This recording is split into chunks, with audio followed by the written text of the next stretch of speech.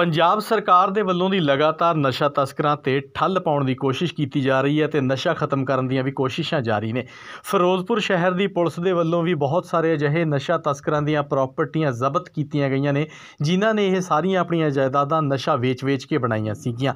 ਤੁਹਾਨੂੰ ਦੱਸ ਦਈਏ ਕਿ ਸਾਲ 2023 ਦੇ ਵਿੱਚ ਇਕੱਲੇ ਫਿਰੋਜ਼ਪੁਰ ਸ਼ਹਿਰ ਦੇ ਵਿੱਚ 30 ਲੋਕਾਂ ਦੀ ਜਾਇਦਾਦ ਹੈ ਜਿਹੜੀ ਉਹ ਜ਼ਬਤ ਕੀਤੀ ਜਾ ਚੁੱਕੀ ਹੈ, ਜੋ ਕਿ ਨਸ਼ਾ ਤਸਕਰ ਸੀ।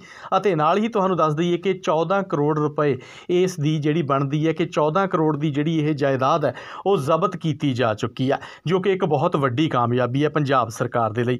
ਹੁਣ ਤਾਜ਼ਾ ਮਾਮਲਾ ਜਿਹੜਾ ਉਹ ਵੀ ਫਿਰੋਜ਼ਪੁਰ ਦੇ ਲੱਖੋ ਕੇ ਬਹਿਰਾਮ ਤੋਂ ਸਾਹਮਣੇ ਆਇਆ ਜਿੱਥੇ ਦਾ ਇੱਕ ਵਿਅਕਤੀ ਹੈ, ਜਸ਼ਨਪ੍ਰੀਤ, ਉਸ ਦੀ ਵੀ 40 ਲੱਖ ਦੀ ਜਾਇਦਾਦ ਹੈ ਜਿਹੜੀ ਜ਼ਬਤ ਕੀਤੀ ਗਈ ਹੈ।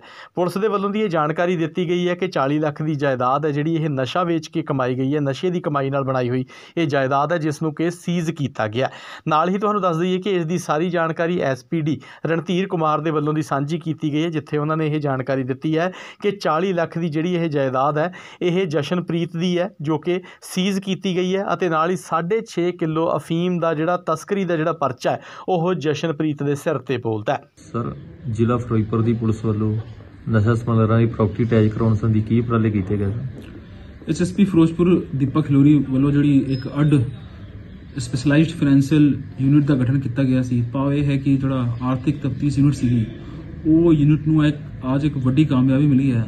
ਜਦ ਥਾਣਾ ਲੱਖੋ ਕੇ ਬਹਿਰਾਮ ਦਾ ਰਹਿਣ ਵਾਲਾ ਜਿਹੜਾ ਜਸਨ ਸੀਗਾ ਜਸਨਪ੍ਰੀਤ ਉਹਦੀ ਲਗਭਗ 40 ਲੱਖ ਦੀ ਜਿਹੜੀ ਸੰਪਤੀ ਹੈਗੀ ਉਹ ਅੱਜ ਫ੍ਰੀਜ਼ ਕੀਤੀ ਗਈ ਹੈ। ਕੰਪਲੇਂਟ ਅਥਾਰਟੀ ਦਿੱਲੀ ਵੱਲੋਂ ਆਰਡਰ ਪ੍ਰਾਪਤ ਕਰਕੇ। ਹੁਣ ਤੱਕ ਸਰ ਕਿੰਨੇ ਨਸ਼ਾ ਸਮਗਲਰਾਂ ਦੀ ਪ੍ਰਾਪਰਟੀ ਅਟੈਚ ਹੋ ਚੁੱਕੀ? ਸਾਲ 2023 ਵਿੱਚ ਹੁਣ ਤੱਕ 30 ਕੇਸਿਸ ਵਿੱਚ ਹੁਣ ਤੱਕ 14 ਕਰੋੜ ਤੋਂ ਵੱਧ ਦੀ ਜਿਹੜੀ ਪ੍ਰਾਪਰਟੀ ਹੈ। ਉਹ ਅਟੈਚ ਕੀਤੀ ਜਾ ਚੁੱਕੀ ਹੈ ਫ੍ਰੀਜ ਕੀਤੀ ਜਾ ਚੁੱਕੀ ਹੈ। ਤਾਂ ਆ ਜਿਹੜਾ ਜਸਨ ਸੀਗਾ, ਇਸ ਤੇ 6.5 ਕਿਲੋ ਅਫੀਮ ਦਾ ਮੁਕਦਮਾ ਸੀ 12/22 ਥਾਣਾ ਲੱਖੋ ਕੇ ਬੈਰਾਮ ਵਿੱਚ। ਤੇ ਅੱਗੇ ਵੀ ਫਿਰੋਜ਼ਪੁਰ ਪੁਲਿਸ ਵੱਲੋਂ ਇਦਾਂ ਹੀ ਜਿਹੜੀ ਨਸ਼ੇ ਦੇ ਖਿਲਾਫ ਜਿਹੜੀ ਫਾਈਟ ਅਗੇਂਸਟ ਡਰਗ ਹੈ, ਉਸ ਵਿੱਚ ਇਹ ਕਾਰਵਾਈ ਕੀਤੀ ਜਾਊਗੀ। ਧੰਨਵਾਦ ਜੀ।